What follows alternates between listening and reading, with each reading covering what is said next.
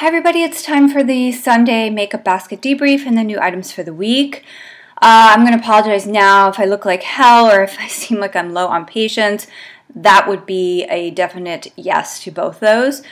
Um, if you haven't seen my Twitter timeline, my Facebook status, or my Instagram, uh, unfortunately, Friday evening, my husband was admitted to the hospital uh, with severe abdominal pains, and uh, it looks like he's going to be there. Sorry, he's going to be there at least until Monday, uh, which is great because it's a holiday weekend.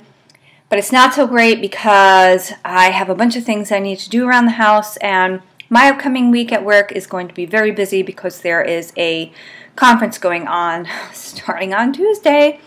So I'm going to see if I can make it through. Um, dogs are going crazy because I've basically been at the hospital for between 8 and 10 hours uh, since Friday and, and today as well. And they need attention, and it's Victoria Day weekend here in Canada. So people are outside and they're barbecuing and they've got their music on. And I'm just hoping that I can get through tonight without snapping. So, anyway, um, my last basket, basically the only products I used on a consistent consistent basis were the um, Skin 79 BB cream, the Comfort Zone palette, the um, Sun Goddess bronzer, the uh, Milani baked brush, baked brush, baked blush, the Capture Total Dior uh, makeup base, and the Dior uh, lipstick in 687. I did, um, I did start using the Bourjois Volume Glamour Max Definition.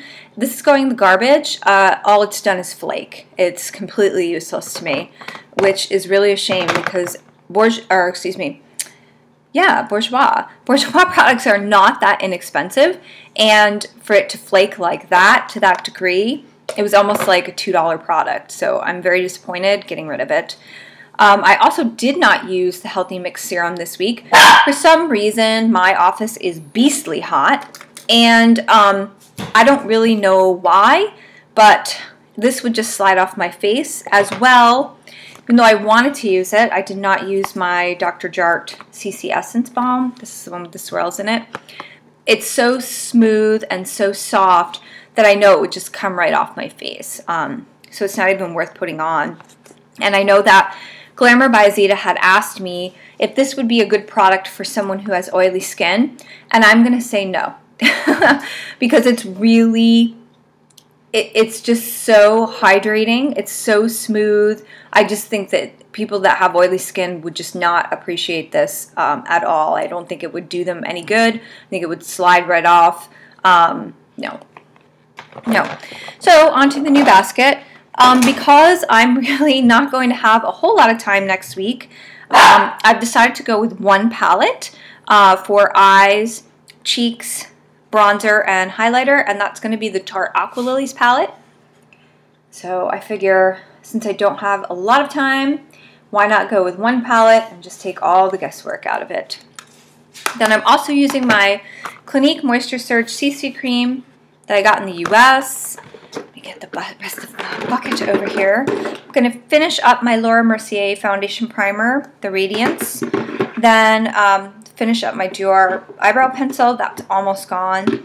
My e.l.f. High Definition Powder, which was a gift from Stacy Sunnyside Makeup.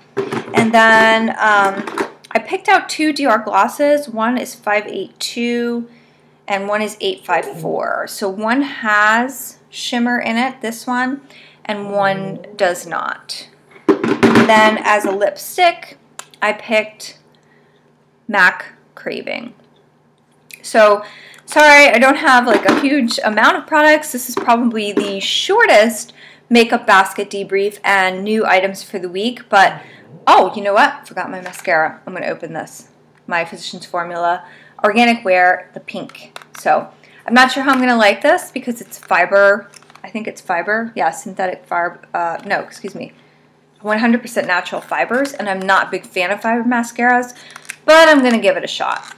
So hopefully uh, all will be well, and people will come home from hospitals and work conferences will go smoothly because I definitely cannot keep up, you know, eight to 10 hours of going to the hospital, sitting there worrying, and then coming back, playing with the dogs, and just wearing myself to death. So um, I hope you guys all had a great week, and I'd like to thank you for taking the time to watch.